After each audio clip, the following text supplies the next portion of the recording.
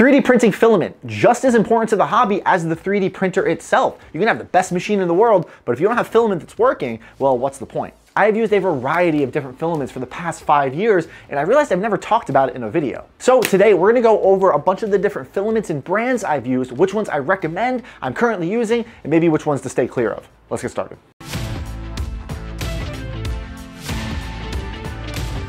Now, before we get started, I wanna preface this video by saying I can only go off of the experiences I've had. If you're following me or you're watching my channel, it's probably because you're into some type of prop making or cosplay, or you like printing fun things. So most of this video is going to be about PLA and PLA Plus, the alternatives to PLA, PLA Pro, whatever they want to call it. And I can say confidently that after five plus years of doing this, I've never had a prop melt. That used to be a big touchy point about PLA. Oh, you shouldn't use it for cosplay. If it's hot outside, it might warp or melt. I have only ever had one prop warp from heat. And that was some Mandalorian helmets that I left in the second story of my garage on like a 100 degree day in the middle of North Carolina. And guess what, guys? Heat rises. It got to about 110 degrees in that attic, and they were sitting on some um, helmet stands, and they just got a little droopy. Aside from that little snafu, I've never had a single issue with PLA or PLA Plus or any of my props discoloring. No, if you live in Texas, maybe look into PETGs or something a little bit stronger, but for most cosplays and props, you're gonna be fine with PLA and PLA Plus. So with that, let's get into it. So let's start off with some of the easy stuff. Like I said before, if you're watching me, it might be because you're trying to get into cosplay. And currently my favorite filaments for that is actually Sunlu PLA Plus and just standard Sunlu PLA. I have been using this stuff the entire time I've been building. My red Iron Man suit that is a little um, worse for wear right here is completely made out of a variety of different colors, but it's all Sunlu PLA Plus. Star Boost over here is actually made of Monoprice PLA Plus, which worked just as well, but it was a little bit pricier and didn't have as many good bundles and deals that Sunlu constantly runs. Other brands I've had success with that actually printed nice and they felt really strong and durable were uh, brands like eSun and ZYL Tech, and I'll put a list right here, just I'm forgetting some of the names, I'll have to go back and like my Amazon orders and just to see the brands I've used.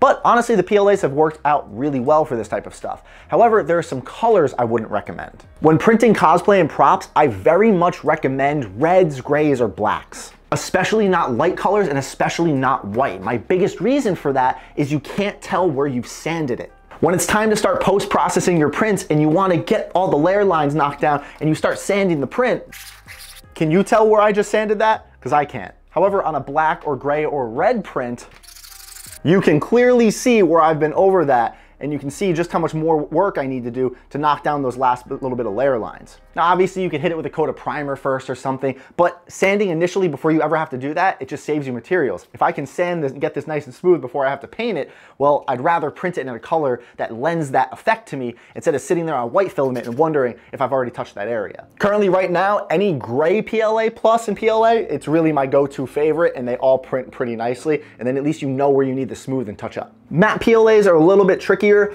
but out of the box they look smoother because they don't have a glossy reflective surface that's reflecting and catching all the layer lines and sending it back to you. That's why if you're just trying to print nice smooth props in some type of filament, matte PLAs are always gonna look better until you start to sand them and you'll see they have just as many layer lines as really any other print. Now, moving on from things from cosplay and props, what if you wanna start printing stuff that just looks nice right off the printer? Provided you have a printer that can do higher quality prints and you're not running like a six-year-old Ender 3 with zero upgrades on it. How do you start getting nice shiny filaments? I'm really hoping that this print in place dragon around my neck isn't making my microphone scream to the heavens. Sorry, I'm about to take it off. So this wasn't something I typically worried about when I was first getting into the hobby because I was painting and sanding all of my prints. Who cares if the print looked nice and smooth or shiny right off the printer? But as printers have gotten better, things like the K1s and X1 carbons and the Prusas, you can get incredibly smooth prints just from silk filaments and not need to post-process them. So silk filaments are so much better than they used to be and 99% of the silk filaments I'm buying are right off of Amazon. With a variety of different brands, we have Mika 3D, CC3D, Overture, Eryone, Amolen, Sunlu, Giant Arm. We even have Do 3D or Do 3D. No, no relation to the model company, I think. And sometimes it'll show up like Amazon Basics. It's not actually Amazon Basic, but there's no brand on this roll. It's just It's just silk green filament and it works. With how much better printers and printing profiles have gotten, you can throw random silk filaments at most of the printers, especially the printers I'm running,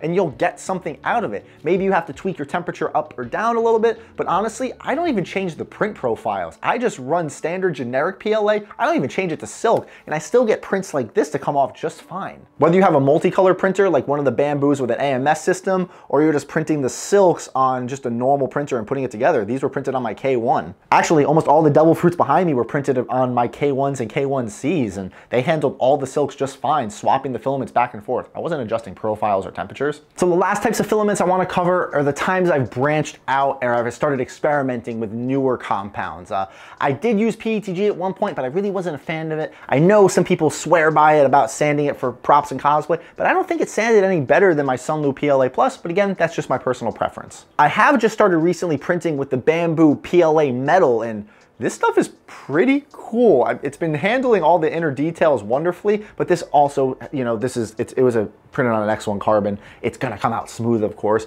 but the filaments look really, really nice and they have like a little bit of a metallic sheen to them. I haven't sanded these yet. I don't know how they're gonna sand. They do feel a little, little softer than normal PLA. Uh, the supports didn't break away as cleanly. They felt almost a little rubbery at times, but yeah, this is actually pretty cool stuff. Now, if you've been searching cosplay and filament and the best to use, and you might have actually come across something by Polymaker called CosPLA. It is supposedly PLA that is engineered to be easy to sand and print and made for cosplay.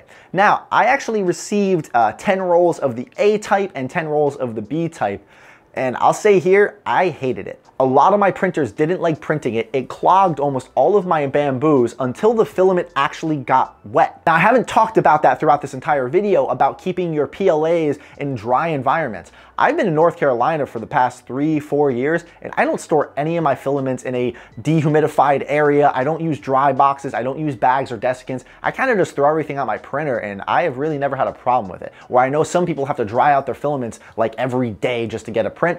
I don't know what you're doing. I don't know what I'm doing sometimes, but it's working. But this CosPLA seemed to work better the longer it sat out in the open and then it would print better on my machines. But the fresh packs, they would clog most of my machines immediately. On top of that, I don't think they sanded any better or worse than the standard filament I was using, the Sunlus and the eSuns and the Elegoos and the Creality. I just didn't have a great experience with it. And with the CosPLA being $25, I did not see a benefit in using that when I could get things like Sunlu or Elegoo or eSun or Creality filaments for less than $20 a roll, especially when they do their bundle deals. Now, if you've had good experience with it, that's great. I know some people swear by it, but I just did not have a good experience with it, so I cannot recommend it.